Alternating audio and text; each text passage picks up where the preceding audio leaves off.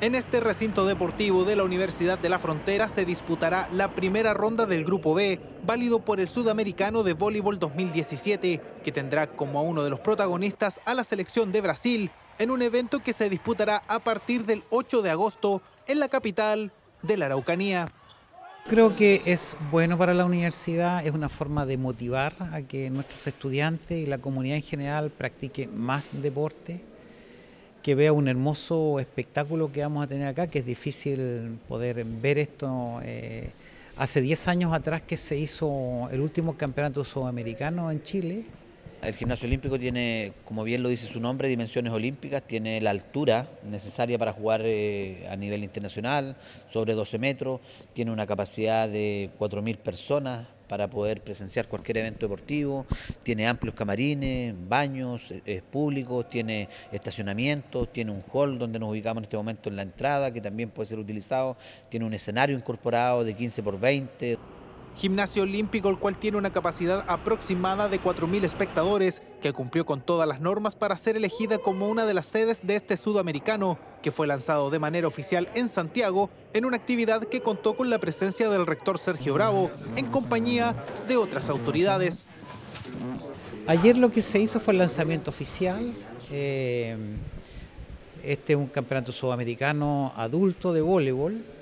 eh, en la cual eh, habrán dos sedes, una es Santiago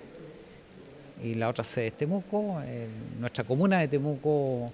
postuló a ser sede de este campeonato y finalmente se quedó Temuco con esta con esta sede. Logramos de postular como segundo, así que finalmente cuando se baja ahora sí quedamos en primera y en marzo nos piden caso de y dijimos que sí. Tomamos este desafío porque creemos que estamos a la altura de tener estos mega eventos en nuestro país, la federación está acostumbrado ya, ha mostrado experiencia y, estamos claros de que vamos a poder lograr estar a la altura de, de este desafío internacional. Temuco, capital del deporte, lo hemos dicho, la verdad es que estamos muy entusiasmados con este competencia sudamericana de voleibol, en que lo más probable es que Brasil esté con nosotros acá a principios de agosto en esta competencia. Así es que en el día de ayer hemos firmado un compromiso como ciudad, como corporación de deportes, eh, para desarrollar este magno evento. En tanto, en el recinto de la UFRO se instalará una carpeta para mejorar la calidad de la superficie en la que se van a desarrollar los partidos de carácter internacional. La verdad es que se va a eh, montar una cancha sobre el piso de madera que nosotros tenemos, se monta una cancha em, que tiene un piso especial definido para la disciplina, em, se demora aproximadamente seis horas en montar ese piso y luego se, se monta y se viste la cancha ya con los parantes y la red de voleibol para el campeonato sudamericano.